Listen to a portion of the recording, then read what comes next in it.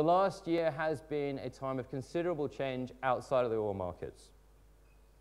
In the UK, uh, we have developed an addiction for elections. Uh, unfortunately, it looks like that addiction hasn't been fulfilled yet, because the last one was still quite uncertain. Uh, but we had Brexit, which I'll talk a little bit about later. We had the US reach a trough in the number of uh, wells. Uh, and as a result, a few months later, production in the US start to come back up. Uh, we, of course, had the election uh, of President Trump in the US with the possibility of a quite different energy policy uh, out of the US, which is important if the US is the swing producer now. And we had the agreements between OPEC and Russia and the other non-OPEC producers towards the end of last year to curtail supply. Now, with all of that change, you would expect a lot of volatility, really. But the remarkable thing is that in 2017, in fact, there's been quite stable markets. The oil price has seemed to find a level around $50.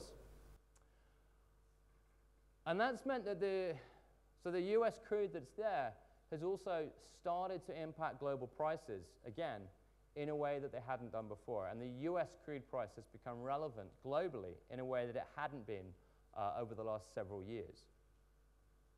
What's particularly interesting is that if you look at the three regions, uh, the three bench major benchmarks, you look at WTI, Dated Brent, and you look at Dubai in the east. And the relationship between those three, and this is the chart at the bottom. Uh, this shows you the red line is WTI versus Brent, and the blue line is Dubai versus Brent. And those spreads, each of them, are closely watched in the markets. They are arbitrage drivers. Uh, they drive the economics of moving crude around the world. And uh, I think for the first time I can't remember how far back I, I, pushed the chart, but certainly for a very long time, uh, the TI one has fallen below the Dubai one. Essentially, on a global basis, light sweet crude in the US is cheaper than medium sour crude in the Middle East. This is a turn up for the books, to say the least. Um, US crude has entered into the global markets and has become attractive to the global markets uh, in a significant way. Only a few months back, we were saying, okay, US exports, they're there now, but they're not going to be significant, or they're not significant yet, and it's difficult to see really where the impact of this will be. Well, you know, as I stated at the beginning, it's, all these outlooks are very difficult to actually uh, uh, make, um, and they're often wrong. So this is showing you the US crude exports, except for the exports going up to Canada. And this shows you the locations they're going to. You can see that last year, you know, we were talking about two, 300,000 barrels a day of US crude exports. It was an amount of crude, but not dramatic. The first quarter of this year, you started to see I mean, in one month, you saw well over a million barrels a day going in February. And a large amount of that crude, previously last year when we looked at this chart, the significant factors were, well, most of the crude was going to Latin America. A significant amount was going to the Venezuelan refinery in Curacao. Some was going to Europe. We'd seen some of the Asian buyers try some US crude. Uh, there was a period last year when Japan was one of the top 10, uh, sorry, when the US was one of the top 10 suppliers of crude oil to Japan. But that was, looked like more of a test, testing the waters. And this year, very much everyone's diving in and swimming happily in US crude. And who's the biggest out of all that? Well, it's the one at the bottom there, which you might not be able to see because the writing's quite small, uh, but it's China. So China has taken in a significant amount of US crude. And really, this shouldn't be a surprise because this was the lesson of the last decade in the crude oil markets, which is that, okay, there's a lot going on in supply, but we mustn't forget that China has become one of the most significant parts of the global demand stories within oil. I did mention earlier, well, that Chinese GDP hasn't been growing so much. So where's this coming from? Like, why is China pulling in so much crude? And there's two factors that are relevant here. One is that China has been building strategic petroleum reserves, as I mentioned, and we don't know quite how much because they're strategic. There are also commercial reserves, and we've seen those grow. And we've seen significant Chinese buying of crude oil, particularly spot crude oil, at periods when spot crude oil prices are quite low.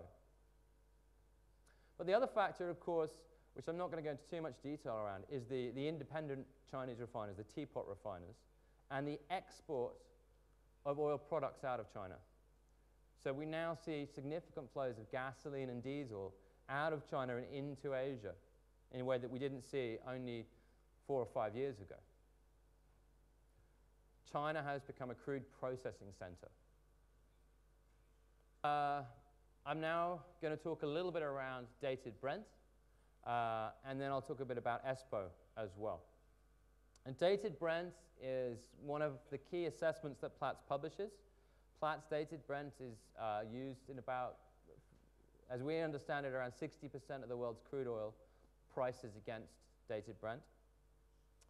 Um, it is a benchmark that represents a basket of four crudes in the North Sea Brent, Forties, Oseberg and Ekofisk.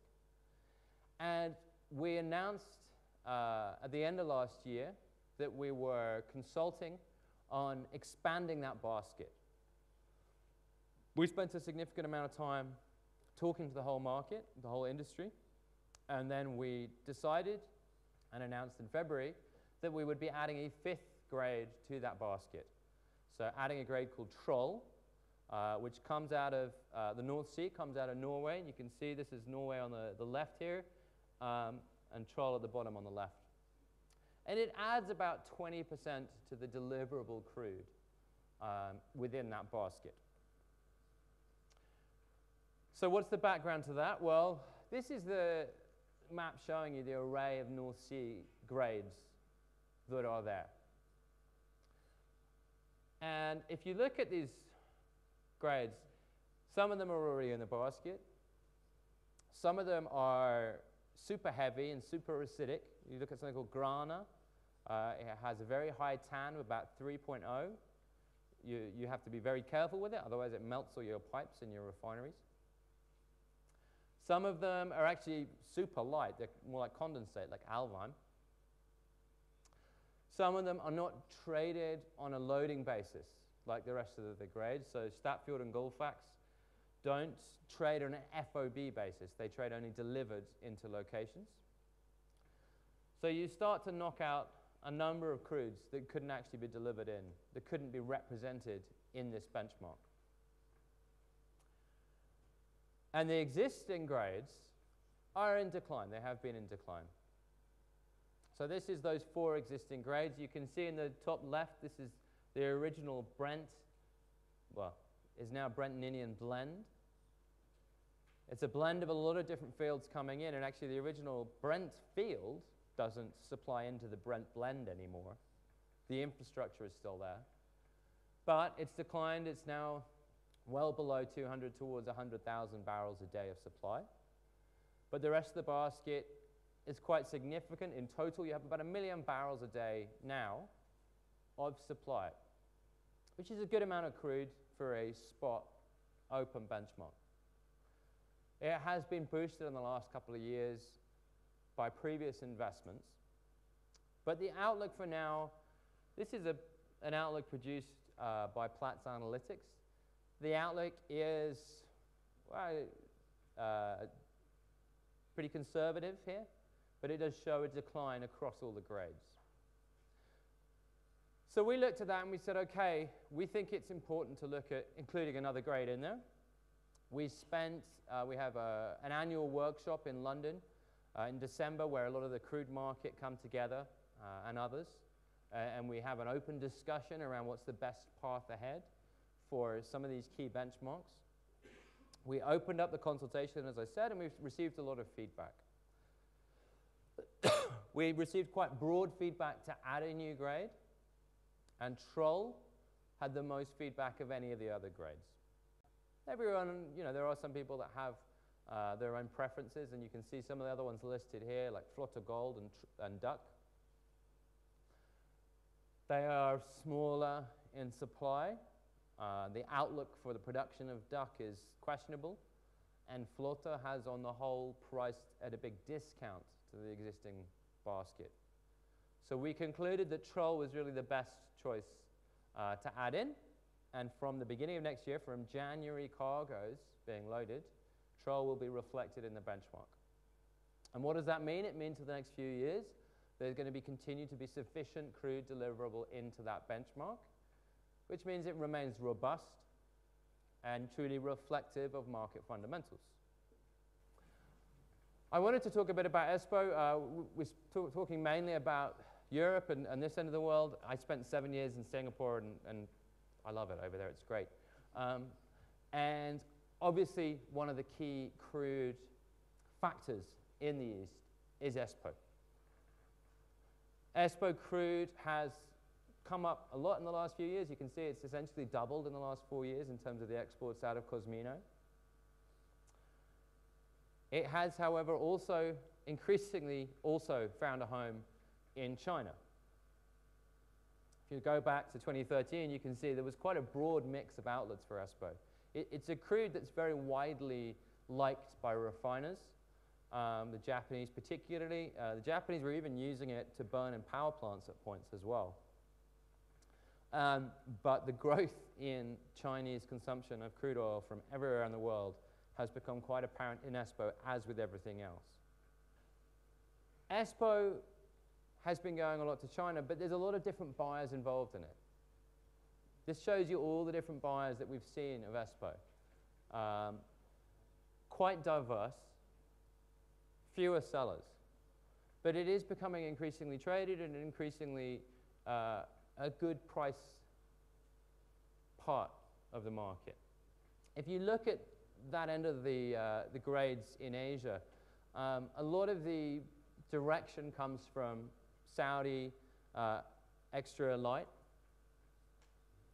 which kind of sets the tone for some of the other light grades in the region. This is showing you Murban, which is uh, out of the UAE. And ESPO itself also kind of fits into that same complex and is typically followed um, where Murban has been trading as well. This is the spot price of Murban versus its official selling price. So, and this is, I promise you, the last little bit from me.